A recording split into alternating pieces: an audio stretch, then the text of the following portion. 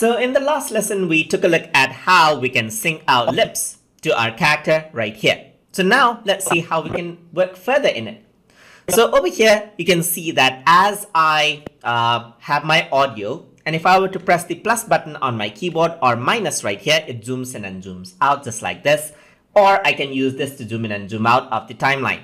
You can see right here that under the Viseme section right here, you see the mouth shape. So it detected the mouth shape and then applied it onto it according to the audio wave right here. So let's just play this around.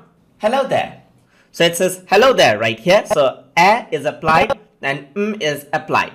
So there's hello right here. I know that this is wrong right here. So what I can simply do is I can zoom in just like this. And then I can simply go around onto this and expand the a right here. So now the mouth stays open as you can see. So it says hello there, just like that. So if I were to play this out, hello there. That is how it actually works like. You can actually control it out manually as well. You can also change this out right here. Let's say you have a right here. You want to change out the mouth shape. You can right click on this particular one and choose the one you want to replace it with. So let's say you want to go with hello. So I'm going to go with O right here. So now you can see right here, it is hello there. Okay, so now that's it. But that is not what I want. So I can go over here and then add in as well. So I can right click and add in a Viseme right here. So I want to add in, let's say A right here and A as has been uh, added. So A, O and A is there. So if I were to play this, hello there. So now it seems more accurate as you can see right here. Hello there.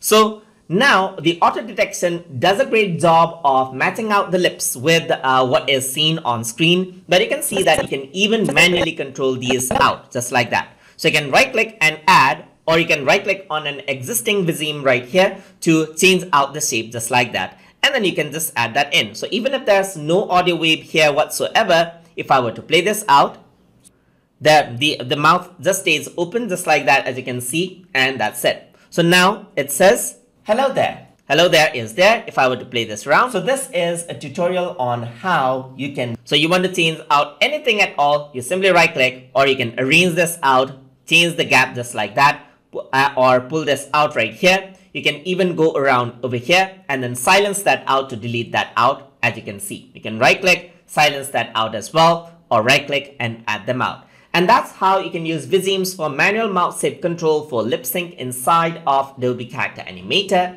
So hope you guys learned something as always. And as always, please like, comment, share, and subscribe.